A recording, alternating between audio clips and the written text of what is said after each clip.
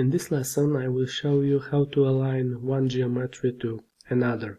Create two geometries, for example a rectangle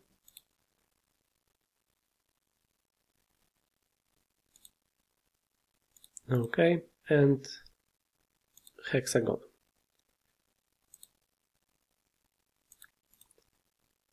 Okay, now we are going to align this side of the hexagon to this side of the rectangle.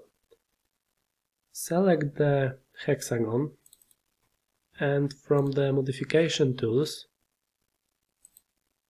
select Align Reference Points.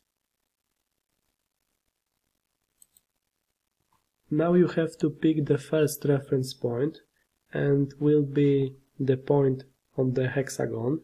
Click this point and now select the first target point and it will be the point on the rectangle.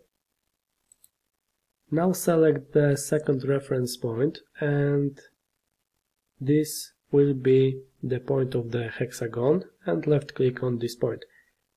And now pick the second target point and that will be the point of the rectangle, for example this point.